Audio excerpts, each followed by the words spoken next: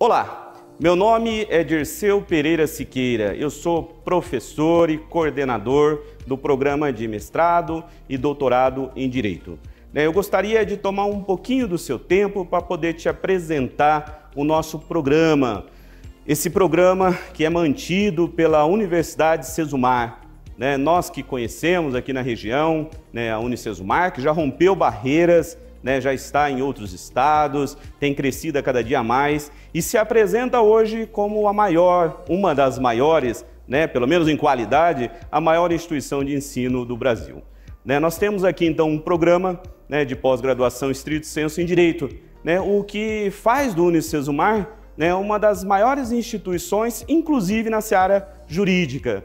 O nosso programa de pós-graduação em Direito que eu me disponho aqui, que é a ideia de falar um pouquinho com você, né, ele está estruturado na área de concentração dos direitos da personalidade. O que, que significa isso? Significa dizer que este programa ele cuida, ele busca analisar os direitos da personalidade, aqueles direitos mais linkados com a vida do ser humano, né? aqueles direitos que muitas das vezes vão impactar em questões básicas do ser humano. E nós, no programa, né, nós temos essa pretensão de estudar, né, de perpassar por uma série de questões polêmicas, né? e é para esse fim, é para esta finalidade que eu te convido neste ano agora de 2020, nós já estamos com as inscrições abertas no processo seletivo de 2021.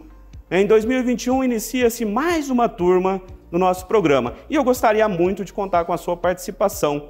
Né? Se tiver interesse em estudar um pouquinho mais sobre, sobre questões jurídicas, sobre os direitos da personalidade, venha estudar aqui no programa, venha conversar conosco sobre essas questões tão importantes. O nosso programa ele tem então essa área de concentração que se divide em duas linhas, né? duas linhas muito importantes. Uma linha material, né, que vai cuidar das questões materiais do direito da personalidade, né, e vai então ser chamada, ser denominada né, de direitos da personalidade, seu alcance na contemporaneidade, né, e uma segunda linha, que é uma linha processual, onde nós vamos buscar as formas de materializar esses direitos da personalidade. Essa segunda linha, então, é uma linha instrumental, cujo nome é Instrumentos de Efetivação dos Direitos da Personalidade.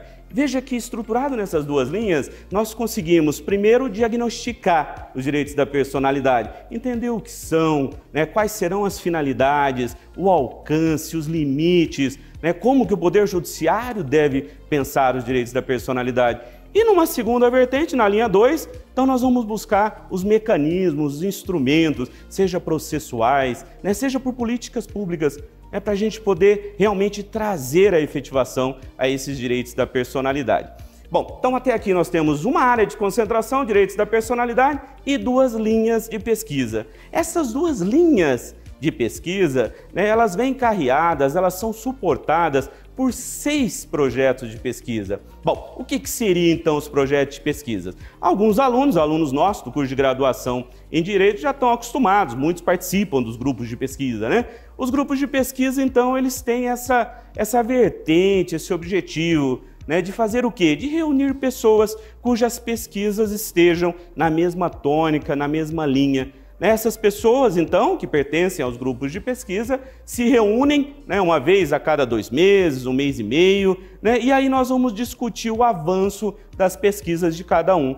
Mas veja, são seis vertentes, são seis linhas. Isso quer dizer que se você é uma pessoa que está mais vocacionada, se você é um profissional que atua mais no direito civil, né, você vai ter lá uma linha buscando estudar os direitos da personalidade sob uma perspectiva civilista. Não, mas eu gosto muito do direito penal. Então o desafio é enxergar o direito penal sob uma perspectiva dos direitos da personalidade e você vai ter um grupo específico para isso. Né? Ah, não, mas eu sou do direito constitucional né, e não estou achando espaço nos direitos da personalidade. Você vai ter uma chance muito boa também. Né? Nós vamos olhar os direitos da personalidade sob uma perspectiva do direito constitucional. Veja que dá para se fazer tantas coisas, né? dá para se descobrir horizontes dos mais diversos possíveis. E essa é a ideia. Né? Um programa de pós-graduação ele está vocacionado a essa vertente né, justamente a despertar no pesquisador algo mais, algo que você não descobriu na graduação, algo que você não descobriu na especialização e que é a hora agora de materializar. Né? É o momento de verticalizar a sua pesquisa. Né? Muitas das vezes nós ficamos no panorama horizontal. Né? E aí estamos buscando única e exclusivamente né, estudar de maneira pouco mais tímida alguns temas. Na pós-graduação, não. Na pós-graduação, o desafio é pesquisar de maneira um pouco mais contundente, mais aprofundada. É, esse é o nosso objetivo.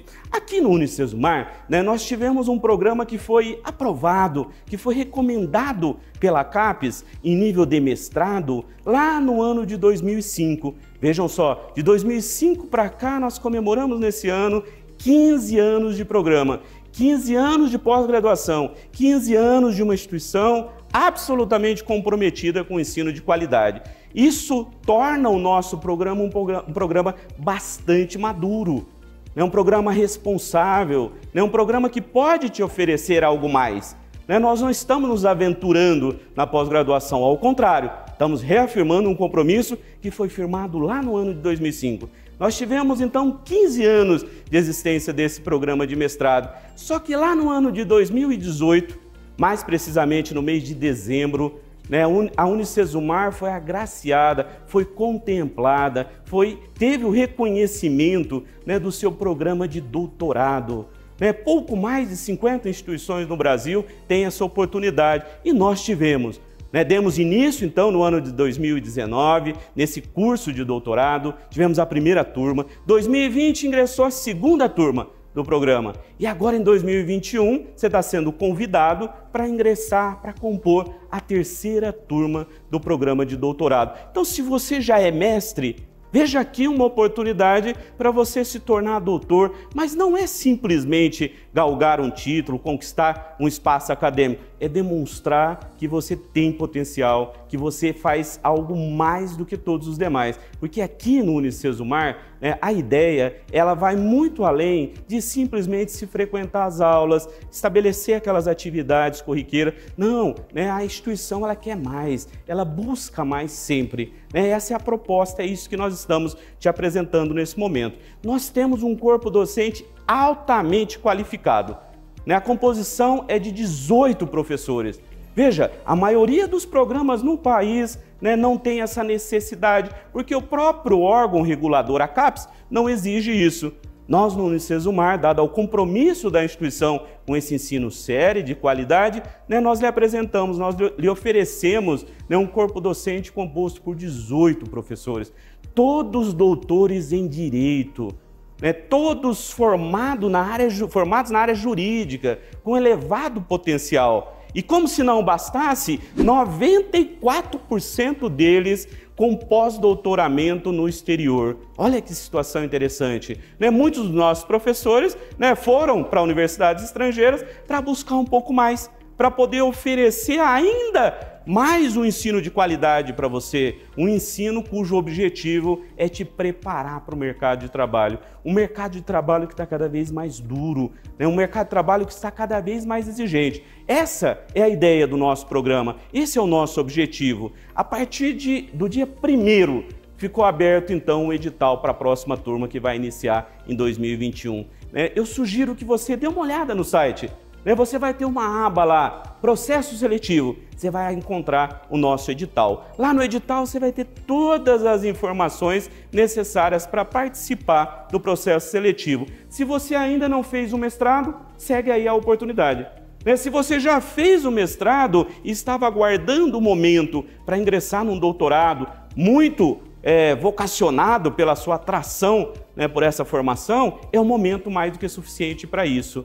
Né? Lá você vai verificar que o processo seletivo do mestrado ele é simplificado, ele é reduzido. Reduzido por quê? Nós queremos avaliar o que você tem.